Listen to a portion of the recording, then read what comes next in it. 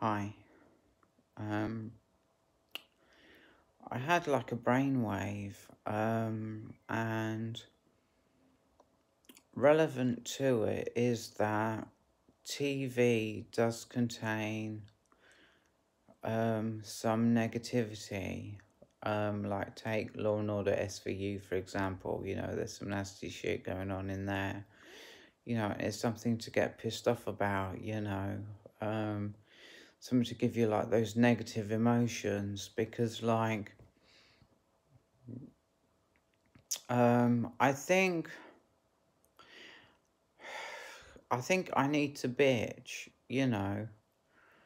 Um, but it's not just that, it's that I only spend time around people um Monday, Wednesday, Friday, and either Thursday or Saturday and um, I think for better mental health, uh, to to be honest, I feel like for the best mental health, it's best to be living with someone. Um, to be honest. Um, but like what I've been doing is I've been totally not watching TV. I mean I've not watched TV now for about three or four weeks. I mean, I have watched Jurassic World on my phone and I have wa- watched um, one episode of the uh, Series 15 of SVU, which was really, really good. And um, I have watched, um, I think, half an episode of uh, Sharp Objects. So um, I feel like I feel like I may be doing myself harm by keeping myself in silence too long. You know, I th- I think um, part of it came from because there's this guy called Ken who I work with, and he said he doesn't own a TV. You know, um, but like he he's super busy, you know. I mean, he described his weekend to me and he said he'd be shopping for two different people, you know. Um, so he's like super busy. So, you know, I can't really take take what he said that he doesn't have a TV to mean that he's like very quiet all the time, you know, when he's not a shop mobility, it's very sort of um not doing anything just sitting there just laying there just chilling you know with no like um anything to no entertainment or anything like that you know? Um i think i think i'm leaning towards um starting with some asmr you know um, I'll do the ASMR for the positivity. And when I feel like I need some negativity, I can watch something on TV because, like, um, I mean, there was this one film, it had that guy out of the transporter, you know, that guy um, in it, and it was so fucking aggressive. You know, I found myself really, really letting go of really, really letting go and being really, really aggressive while I was watching this film. Um, and, you know, um,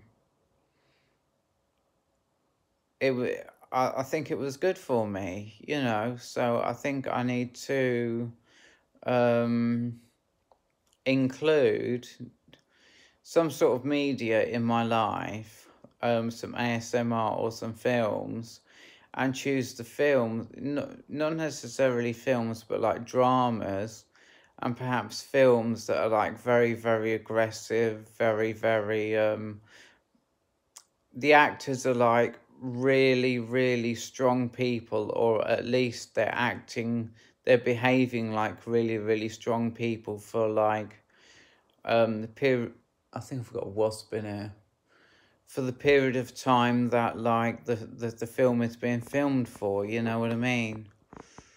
Um, so I don't know where this they call it an epiphany. Um, I don't know where this huge realization came from. Um, I was going to do a mukbang actually. I've got some, um, yeah, there's something behind my curtain and it sounds pretty big.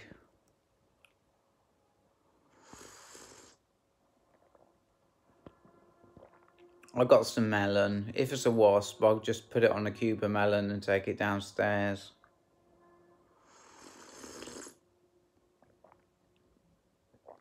But like, where all this this is coming from?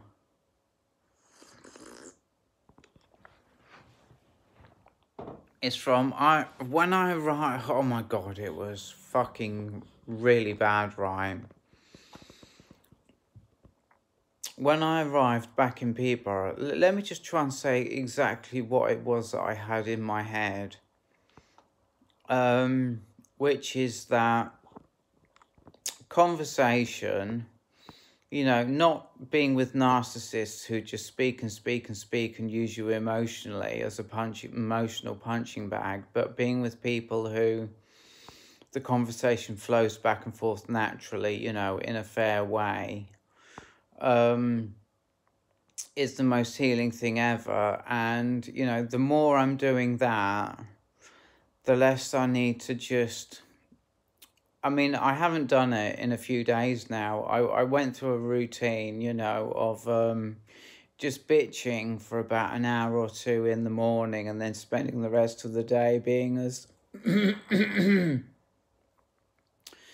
positive as I could be, you know, but I feel like if I was having more conversation with people, you know, I don't think I would.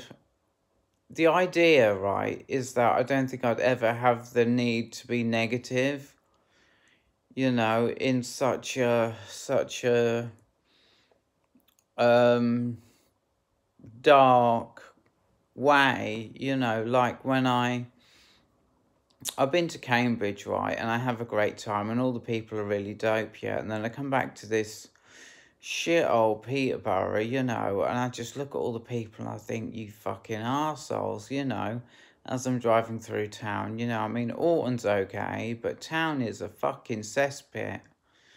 It's, it's a cesspit. Cesspit is what people have in their garden to, to, to where all the shit from the toilet goes, and then they have it emptied, you know um, where I live is a complete shithole. You know, the people are just, you see, because I, I don't know why they're such assholes in town, you know, I don't know, but they are. And um, I'm telling myself, you know, if if I had more conversation with people, I wouldn't need to like um, have these negative feelings towards these people, but um, I think I'm just rambling anyway. So um, I'm going to end this video and I'll see you later. Goodbye.